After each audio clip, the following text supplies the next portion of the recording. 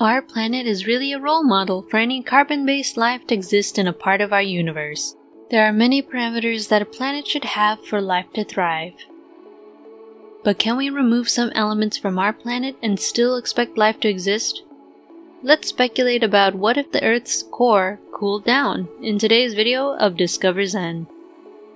The Earth's core temperatures range from about 4,400 degrees Celsius or 7,952 Fahrenheit to about 6,000 degrees Celsius or 10,800 degrees Fahrenheit. It's as hot as the surface of the sun. It's been that way for about 4.5 billion years. That's when the planet first formed from a cloud of gases and particles. Gravity caused iron and other heavy substances to sink towards the middle of the Earth, while lighter material like air and water rose up to the crust. The stuff in the middle is so hefty that the outer core's gravity is about three times that of Earth's surface.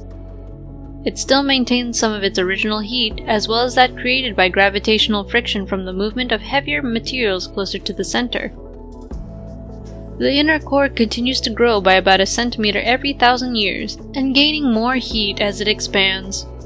The outer core is an iron and nickel alloy that serves as a buffer between the inner core and Earth's mantle, a layer of magma and molten rock. The inner core is a solid, iron-rich ball that's about 1,207 kilometers or 750 miles thick. So what would happen if the core just cooled down? The Earth's core is not something that is going to be warm forever. Actually, it's cooling down very slowly over time. At its current rate, it will take almost 91 billion years for the core to freeze down completely. But for our imagination, let's increase the rate of cooling so that it loses all of its heat instantly. The first thing which we will notice is that the magnetic field of the Earth will fade away. The magnetic field acts like a protective shield around the planet, repelling and trapping charged particles from the Sun. Earth is a bit similar to a bar magnet with north and south poles that represent opposing magnetic polarities and the magnetic field encircling the planet. But unlike a bar magnet, the core magnetic field is not perfectly aligned through the globe nor is it perfectly stable. That's because the field originates from Earth's outer core, which is molten, iron rich, and is in vigorous motion 1,800 miles below the surface. These churning metals act as a massive generator called the geodynamo, creating electric currents that produce the magnetic field. So if the magnetic field of the Earth is shown, the surface of the Earth will be constantly bombarded with the charged particles from the solar flare.